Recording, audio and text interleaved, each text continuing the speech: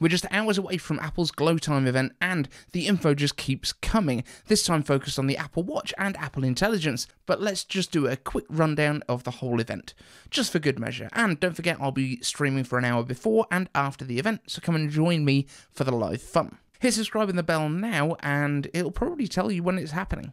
But let's go rapid fire this time and not waste our time on it iPhone 16 and 16 Plus, same size as last year, but apparently with brighter colours, a new camera layout for spatial video, and a capture button and the action button, and A18 inside to support Apple Intelligence. Moving on, iPhone 16 Pro and Pro Max get bigger, 6.3 and 6.9 inches up 0.2 inches each from last year with thinner bezels, a slightly bigger chassis, a new bronze gold colour, A18 Pro, capture button, massively better ultra wide camera, and potentially new 256GB storage starting point on the Pro, which might also mean that it's $100 more than last year at the starting point, just like the Pro Max, but you get more storage, so it's the same.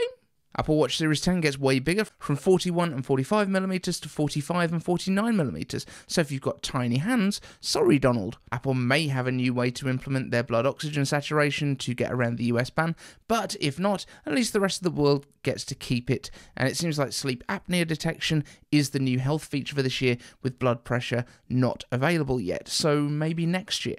The same will of course come to the Apple Watch Ultra, which might also get a new space black color and could glow time mean that this Apple Intelligence Siri is coming to the watch? Because glow time, you see. Sub if you agree, or if you don't, just just sub.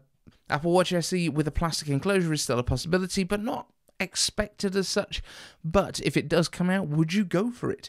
Could it have the flat sided designs and display that we thought was coming to the Apple Watch Series 7? So many questions. How much money will it cost? 199 That's my guess. AirPods are also likely to get updates in two different flavors, potentially a new design uh, for the Generation 4, which could add active noise cancellation, and a more entry level version with a new design as well, replacing the AirPods second generation, which Apple currently sells for $129.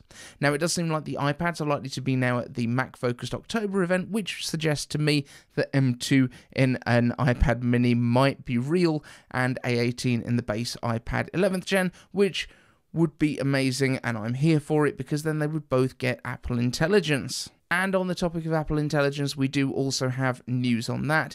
Two of the most exciting features will probably not be here until at least the beginning of next year, with those being Image Playgrounds and Genmoji, both of which are features that create images for you on your device. Annoying, but also new features throughout the year. Uh, let's just call that a win.